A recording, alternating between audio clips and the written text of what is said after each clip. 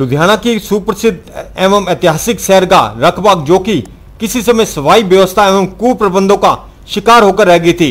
को hero cycle की ओर से स्वर्गीय ओपी मुंजाल की स्मृति में न केवल संवारा जा रहा है, बल्कि इसका रख रखाव भी इस प्रकार किया जा रहा है कि आज ये केवल एक सुंदर सैरगाह ही न होकर एक पारिवारिक मनोरंजन पार्क के रूप में तब्दील हो चुकी है। यहाँ पर बच्चों के लिए जहाँ विभिन्न प्रकार के झूले व अन्य मनोरंजन के साधन उपलब्ध करवाए गए हैं वहीं अब मैपल एडवेंचर के सहयोग से यहाँ पर bungee jumping wall climbing bull game को भी स्थापित कर दिया गया है जिसका शुभारंभ नगर निगम के एडिशनल कमिश्नर ऋषि पाल ने किया जबकि इस मौके पर कंपनी के एस के राय व कमांडर कुलवंत सिंह भी उपस्थित थे और ऊपर से वेरी गुड गो गो गो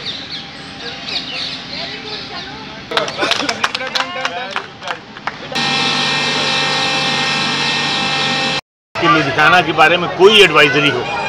क्या प्लेसेस विज़िट करनी है तो रखबाग इज़ द फ़र्स्ट आज हमने एडवेंचर क्लब में दो तीन नए आइटम शुरू किए हुए हैं। आज तक लुधियाना के बच्चों को रोपड़ या हिमाचल जाना पड़ता है।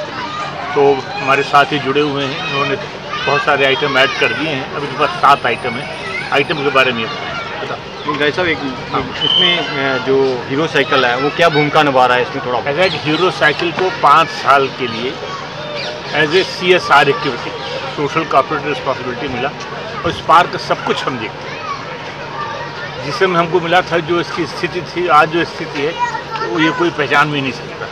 और केवल हम ओम प्रकाश जी की स्मृति में ये हम करते हैं, क्योंकि उन्होंने इस शहर ने उनको बहुत दिया है। तो हम उनको जो हमारे बस का है, हम पूरा तो नहीं उतार सकते जिस शहर ने दिया है तो जो हम कर सकते हैं अपनी तरफ़ से एक सोशल फैब्रिक को चेंज करने की कोशिश करते हैं। यहाँ कोई कल्चरल प्रोग्राम भी करते रहते हैं। बच्चों की इंगेजमेंट है। तो आप देखिए कितनी बड़ी भीड़ हर समय आ है। तो जो शहर के लोग हैं उनसे आप क्या कहना चाहते हैं इसके बारे में साथ में? केवल आज के ज़माने में वातावरण बहुत इम्पोर्टेंट है। आप मदद करें हमारी। और आप वातावरण में खुले वातावरण में चिड़ियों की चहचहाट सुने आएँ इंजॉय करें। और इस पार्क को और वैल्यूएबल अपनी लाइफ करें। कि हम इसको ठीक नहीं रखेंगे तो सरकार ठीक नहीं रख सकती। हमें कंट्रीब्यूट करना चाहिए कि ठीक हो, आएँ इंजॉय करें, बच्चों के साथ आएँ और एक नए किस्म का वातावरण पैदा करें, जिसमें बच्चे काफ़ी तरह के पक्षी इस पार्क के अंदर में हैं, जो कि बहुत ही अच्छा वातावरण क्रिएट करते हैं और बच्चे इससे काफ़ी सीख भी लेते हैं, क्योंकि शहर के अंदर बच्चों को पक्षी देखना एक बहुत ही दुर्लभ सी चीज़ हो गई है।